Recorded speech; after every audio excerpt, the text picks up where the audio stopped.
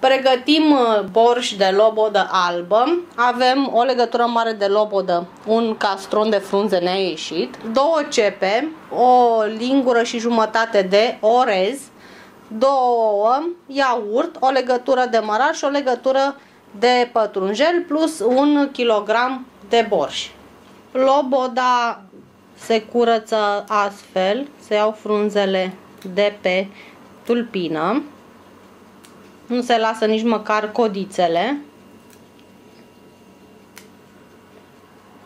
După ce o curățăm de pe tulpină, o spălăm, tocăm ceapa mărunt,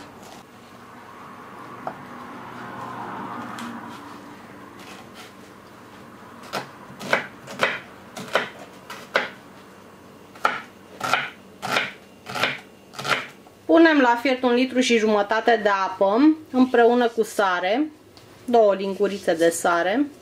Apa fierbe, vom adăuga acum ceapa tocată împreună cu orezul. Și după ce acestea sunt fierte, vom adăuga și frunzele de lobodă care fierb imediat. După un sfert de oră, ceapa și orezul sunt fierte. Adăugăm mărarul și pătrunjelul tocat.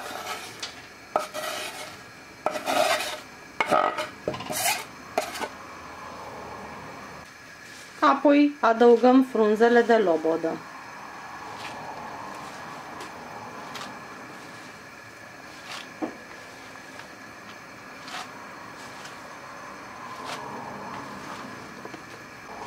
Între timp puneți și borșul la încălzit, nu-l adăugați niciodată rece. Adăugăm borșul. Mai lăsăm 10 minute la fiert. Între timp amestecăm ouăle cu iaurtul.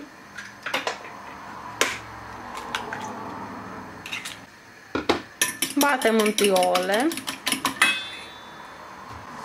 puțină sare.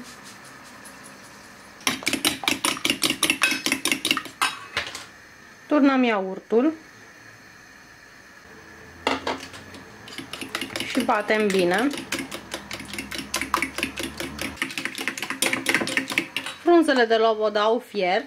Vom opri focul și vom lăsa să se răcorească timp de un sfert de oră, după care vom trege borșul cu oul amestecat cu iaurt. Dregem borșul de lobodă. Luăm din borș și turnăm peste oul cu iaurt. Câte puțin și foarte încet ca să nu se taie.